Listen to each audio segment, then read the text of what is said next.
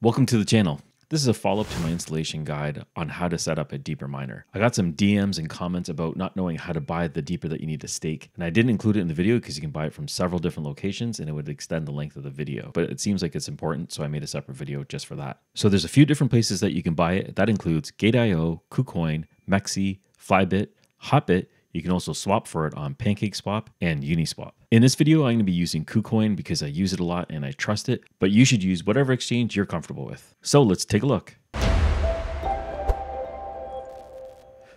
So we're just going to open up our browser and we're going to search for KuCoin. And KuCoin.com is the official URL. That's the one that we're going to go to. So we're going to click on that. And here we are at the homepage. If you don't have an account, what you're going to want to do is click on the sign up link over here, and it's going to ask you for your phone or email address. What you want to do is enter all this information in, look at the terms of use, and then click on sign up. Once you've signed up for an account, what you want to do is click on the deposit section over here. And what we're going to be doing is we're going to be buying USDT. USDT is going to be the crypto that we're using in the exchange to buy DPR. Once you've purchased your USDT, it's going to show up here in your main account. Now we need to transfer it from our main account into our trading account so we can buy DPR. So you go ahead and you transfer it over, and once you do that, it's going to show up here as a balance.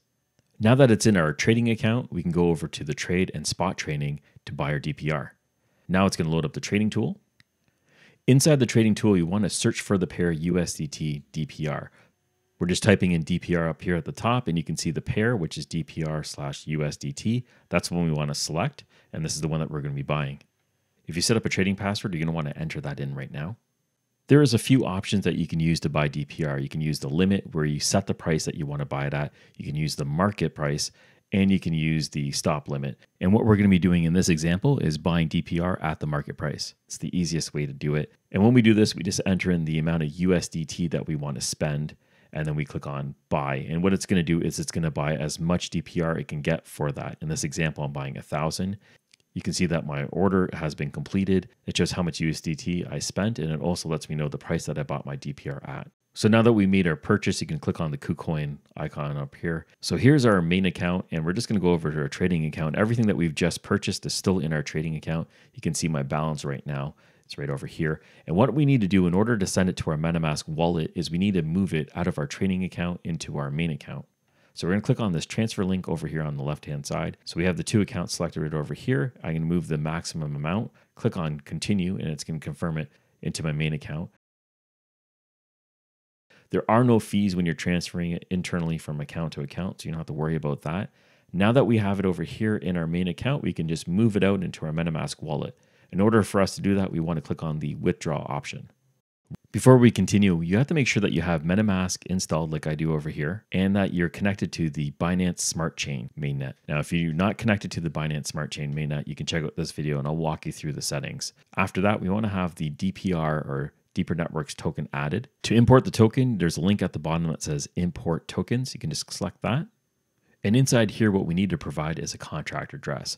So I'm inside CoinMarketCap. I've searched for deeper networks. So it comes up over here. And down here, we have the Ethereum contract and we also have the BSC contract. So we want to click on the copy option. I already have it in. That's why it says that's already in here. Uh, but it'll automatically populate the symbol and the token. So we have it in there. And then you can scroll down and it should show up like this.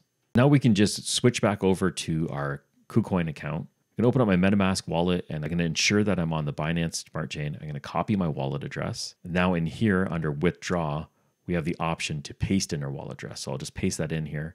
And below we have the network option. So we have the BSC and we have the Ethereum. You want to make sure that we select the BSC. So if you try actually selecting the Ethereum, you can see that the fees are 200 DPR.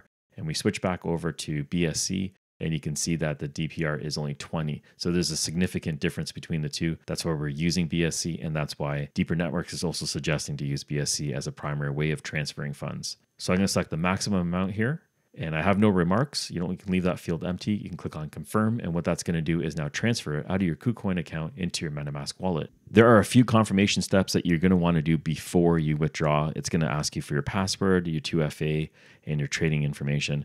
This is completely normal. It's very secure. That's why I like using KuCoin. So you have to provide all these details and then it'll withdraw it from your account and then it'll send it to your MetaMask wallet, and that's it. That's how you buy DPR using KuCoin and send it to your MetaMask wallet. Hope you enjoyed the video. If you did, please smash that like button.